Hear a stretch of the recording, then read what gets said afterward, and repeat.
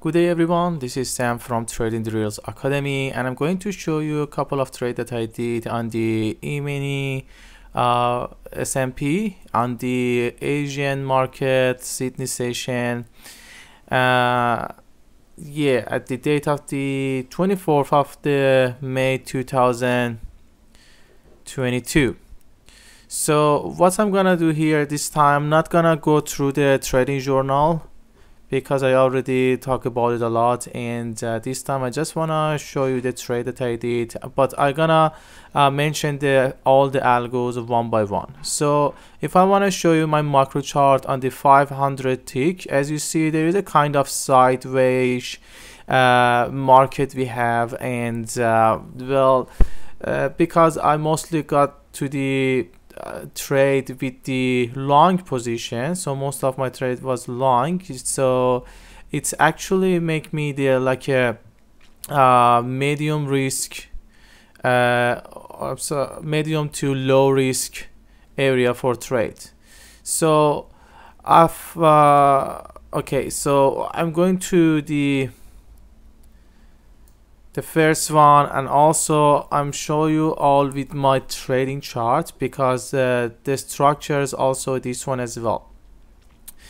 Uh, okay so we are in a five uh, in a hundred. So my structure let me tell you it's better. So my structure is mostly 250 tick to changing dynamic changing to the maybe 150 tick. And my trading is also between the 25 tick to 50 tick okay? So I'm gonna go to the 100 tick because it's gonna be more obvious and we can go one by one the trades that I did. Also I don't want to make the video goes long it's already past two minutes of it. Okay so as you see the first one trade that I enter in I entered at the over oversold area but the markets uh, decide to continue shorting and it touched my stop loss in here. Okay so if you see this one here is my stop loss. So my stop loss was like a fourth one fourth of the channel the measurement of the channel. All right. Okay so then there is another uptrend here. Oops there is another uptrend here. So I entered at this position at the oversold area of the channel and the first TP touch here and the second one touched here. Uh, as I said I'm not gonna go through the all algos this time and I just want to show you the trade that I did. So for this one also I entered here the first TP and the second TP here. Again it's at the oversold the bottom of the channel.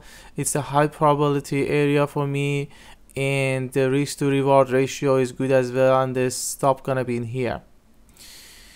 Okay and then I just to show you the trade that's meet the algos and this one here also. I entered here. The first TPS touch here and the third one touched here. The first one here the first TP here and the second one here. But uh, just want to show you wait a second yeah. So the reason that i didn't enter here i should wait for the price going here but because i have a good candle going up so it's put me in a mistake. And actually with my trend range when it's broken i entered here. So i expected the market goes up from this part of the chart from this uh, position this situation. But i have to wait for the bottom of the channel to meet. Otherwise the if I entered here then I would have the better risk to reward ratio. I would have to the better price as well. Alright guys uh, so that was it for today. Please uh, take care of yourself and having a really good trading day. Bye bye